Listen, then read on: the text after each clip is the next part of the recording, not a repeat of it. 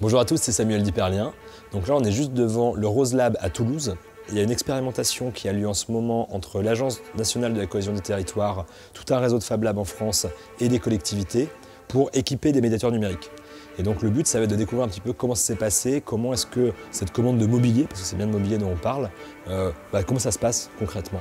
On va essayer de retracer un tout petit peu toute cette chaîne entre euh, la personne qui a fait le design, euh, les médiateurs numériques qui en ont besoin, les makers euh, qui construisent, la collectivité qui commande, sans oublier bien sûr bah, forcément le public à qui c'est destiné. Donc bienvenue à Toulouse, bienvenue au Rose Lab, bienvenue dans Hyperlien.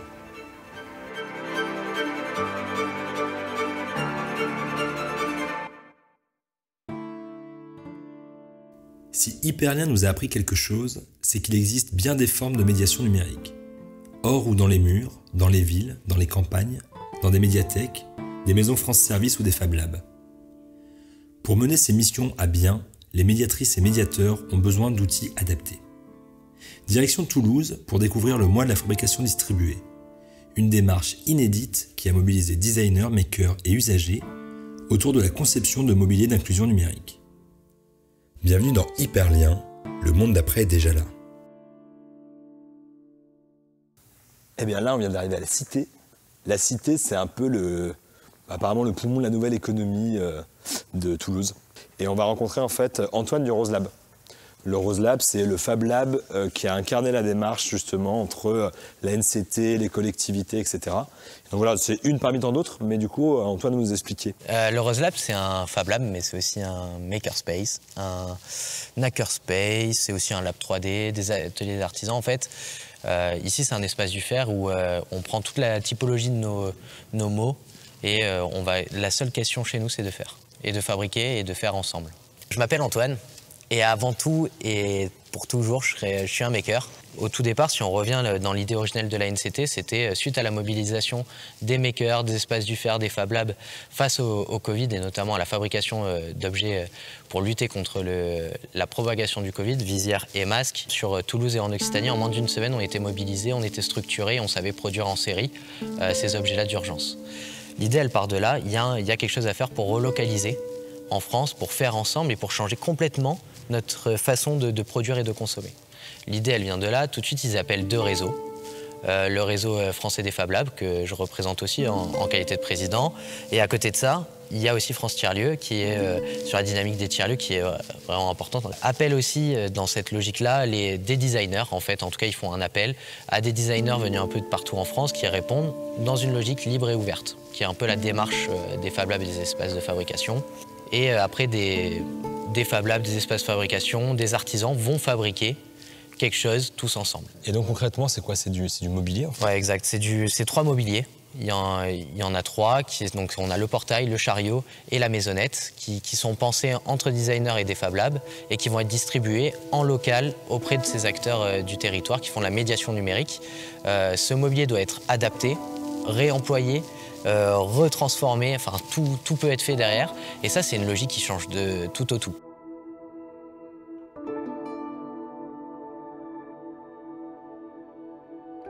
Et eh bien là, en fait, on va voir Anna, la femme manager, qui est en train de travailler sur un des mobiliers. Et on va essayer de ne pas faire trop de bruit parce que je crois que c'est pas trop à déranger.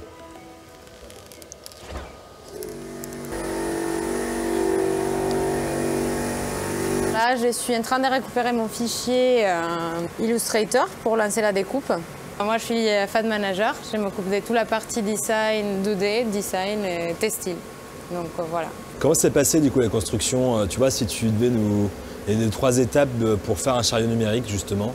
Comment ça se passe? Bah, moi, c'est surtout la partie couture.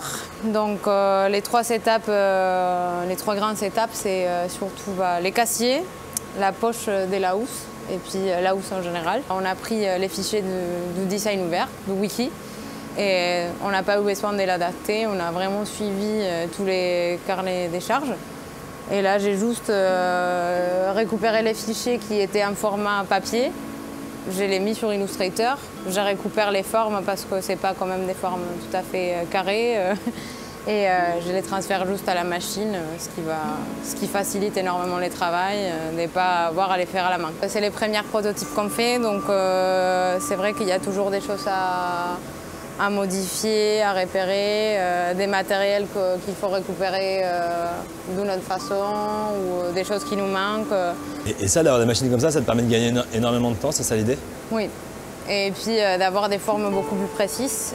Donc la laser, elle nous permet de faire beaucoup de choses et qu'à la main, ça prend énormément de temps.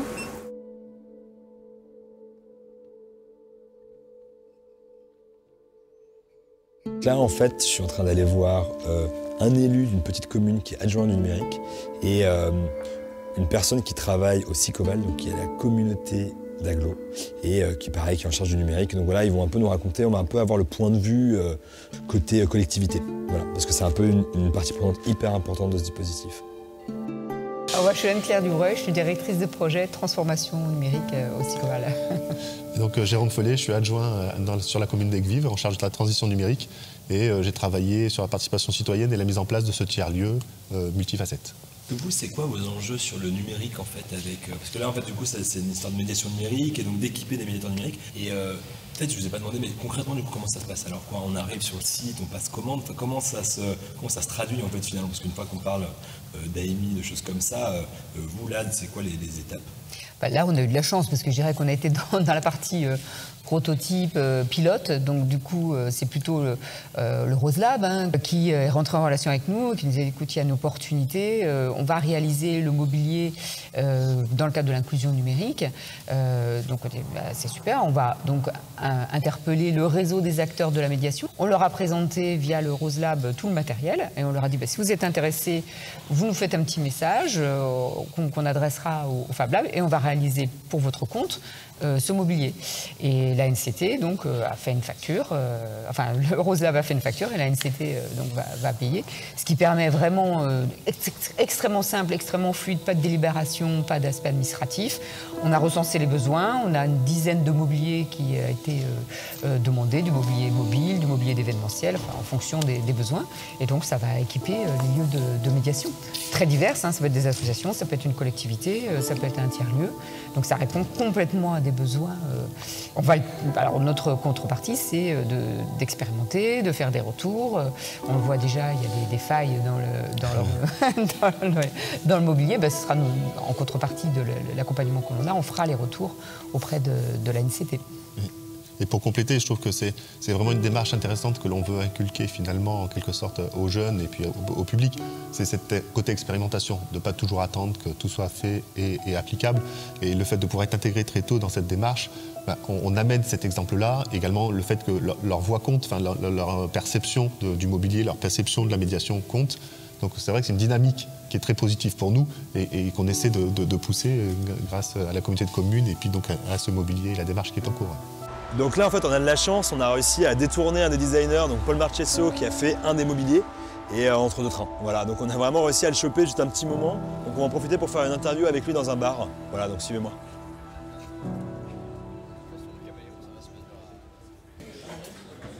Euh, moi, c'est Paul euh, Émilieux, Paul Marchesso, et qui, qui est designer, architecte d'intérieur, et surtout qui travaille sur l'architecture intérieure. Et on travaille beaucoup avec le studio sur les environnements intérieurs impact et comment aujourd'hui l'espace intérieur a un impact sur nos comportements et nos manières de faire. C'est quoi par exemple toi les besoins que tu as vus? Parce qu'il y a trois meubles, mais toi les, besoins pour toi qui étaient hyper importants et que tu as recueilli un peu du terrain, c'était lesquels?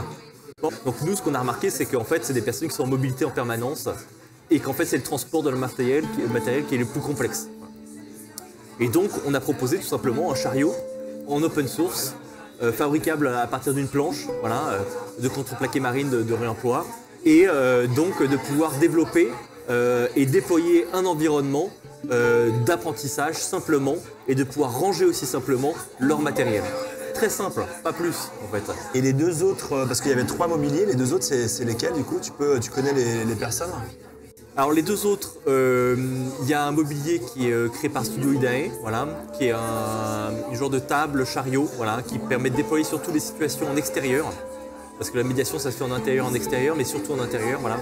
Et il, peut y avoir de plus en plus de aller vers, comme on dit, donc euh, de situations pour aller vers des personnes pour faire la médiation et non pas que les personnes aillent vers le médiateur. Voilà. Vraiment inverser un peu le rôle. Et puis il y a aussi une maisonnette. Maisonnette, ça veut dire que c'est une médiation plutôt euh, in situ, dans des lieux de médiation numérique, plus type bibliothèque, Fab Lab, voilà, où euh, la médiation numérique est un peu plus, euh, on va dire, située et sur des temps plus longs, où on va aller dans l'espace et non pas se déplacer dans plusieurs espaces comme ça se fait, comme avec des chariots ou des valises comme ça se fait aujourd'hui. Et que là-bas, il y ait un mobilier utile pour ces choses-là et qui permettent de déployer une médiation spécifique. Ce qui est intéressant, c'est qu'aujourd'hui, c'est à l'échelle d'une entité publique. C'est ça qui est vraiment le gros changement. C'est-à-dire que là, la puissance publique a décidé de mettre de l'argent, du temps et du réseau, de son réseau, pour pouvoir créer un déploiement à l'échelle nationale. donc ça, c'est assez énorme.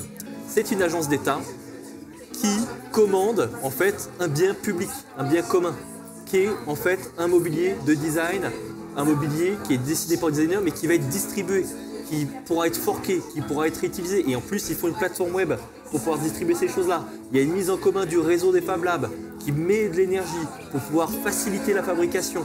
Non, vraiment, il y a euh, un projet qui est vraiment super intéressant euh, sur, euh, sur les nouveaux types de fabrication distribuée et sur la relocalisation de la fabrication avec des outils de fabrication accessibles.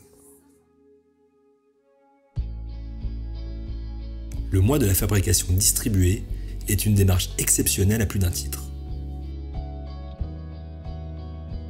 D'abord parce qu'elle permet aux usagers de bénéficier d'un mobilier adapté et inclusif.